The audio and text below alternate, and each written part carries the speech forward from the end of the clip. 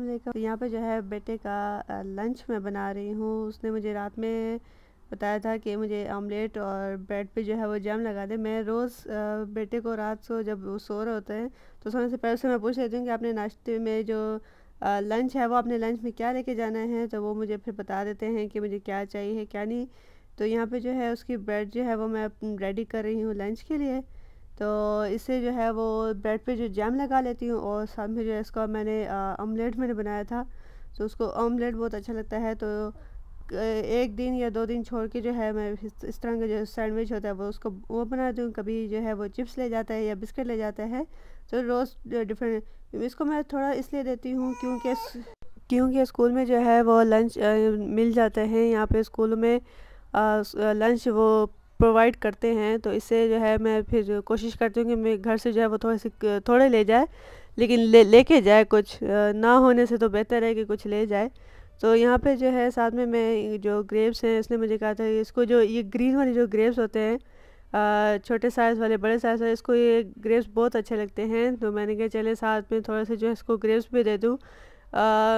ये और कुछ खाता नहीं है तो मैंने कहा, चले, इससे अच्छा है कि ये फ्रूट तो किसी बहाने से खा लेते हैं। स्कूल में जो है अक्सर इसको फ्रूट भी लंच में मिल जाते हैं। जैसे बनाना हो गया एप्पल हो गया। तो यहाँ पे जो है इसका जो अब लंच है, वो अब रेडी हो गया है। और इसको फिर मैं बाकी जो इसका अपना जो लंच है, उसको उसमें जो लंच बैग होता है, उसमें फिर ऐड कर लूँगी। साथ में इसने कहा था कि मुझे जो है वो जूस चाहिए। तो ये एप्पल एप्पल जूस है तो इस, इसने कहा इसने कहा है कि मैं साथ में जो है वो एक जूस का जो डब्बा होता है वो साथ में ले जाऊँगा।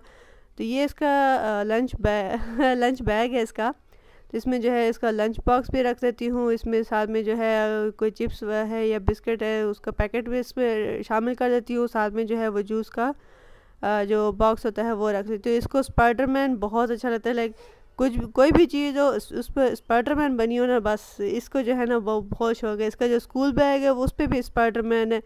लाइक लिटरली इसकी सब कुछ जो है ना वो उस स्पाइडरमैन से है। तो यहाँ पे जो है इसका जो मैं लंच बैग है, वो उसको बंद करने की कोशिश कर रही थी एक हाथ से।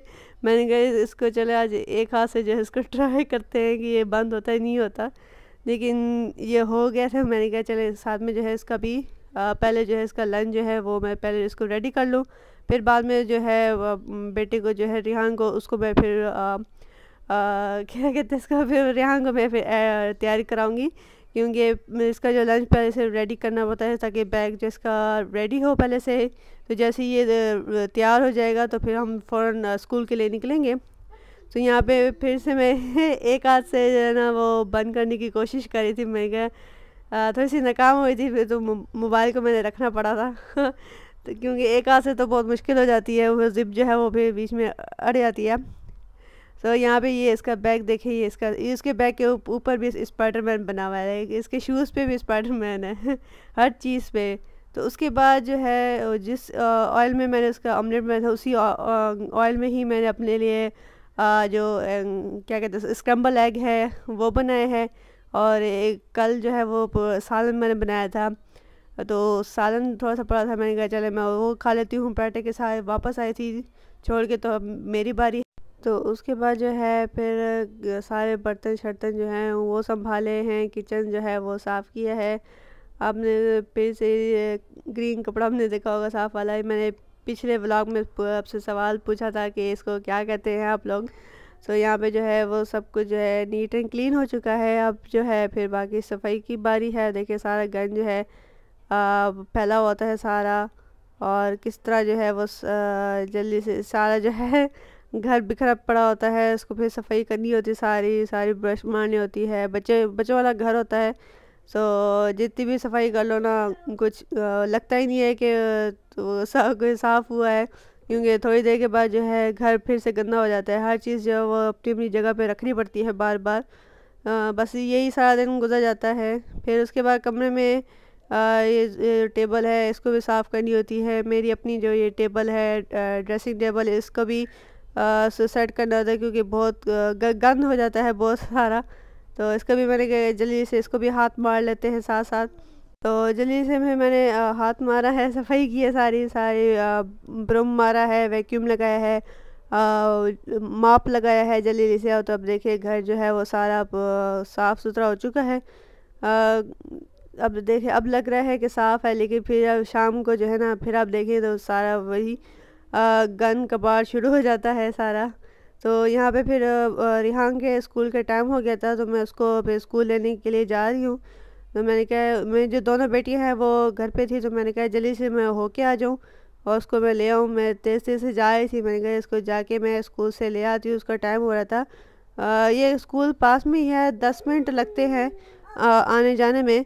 तो मैं इसलिए फिर वाकई डिस्टेंस ही है तो फिर मुझे वॉक करके जाना होता है। इससे जो है अच्छी खासी वॉक हो जाती मौसम जो था सुब यहाँ पे कोई अजीब सा ही मौसम है। मॉर्निंग में तो इतनी ठंड होती है कि बंदा कहता है कि दो दो, तीन तीन जैकेट पहन ले और दिन में जो है बारह बजने के बाद उसके बाद मौसम इतनी गर्म हो जाता है कि बंदा जो है वो जैकेट ही नहीं पहनता कि पसीना आता है। तो ये रिहान को मैं स्कूल से ले आई थी तो उसने कहा कि, ये जैकेट आप पकड़ ले और लंच बैग भी आप पकड़ ले, बाकी बाकी सामान मैं पकड़ लूँगा।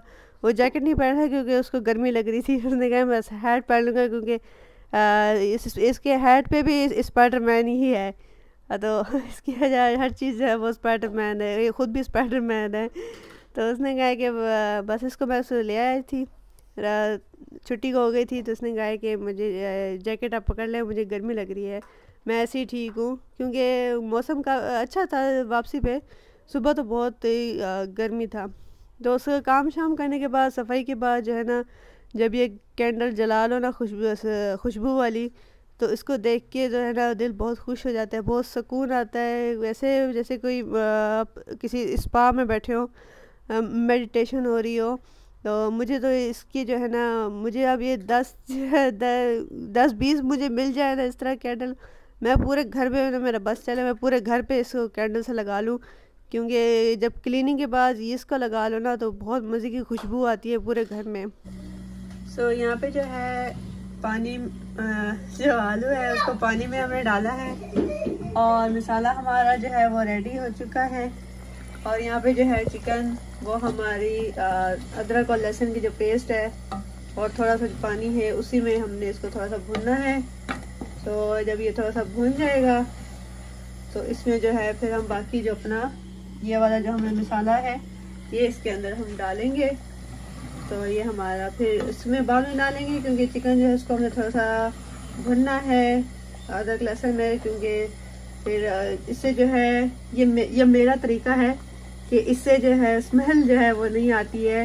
मैंने मैंने कहीं से सुना है, आपने भी कहीं से सुना ही होगा, अगर अगर सुना है तो कमेंट सेक्शन में जो है वो ज़रूर बताइएगा कि कहते हैं, जो बड़े कहते हैं कि अगर अदरक लहसुन के जो पेस्ट होता है या उस पर साबित उसमें डाल दें तो उससे जो है गोश्त है या चिकन है या जो भी है उसकी जो स्मेल है वो नहीं होगी ख़त्म हो जाएगी।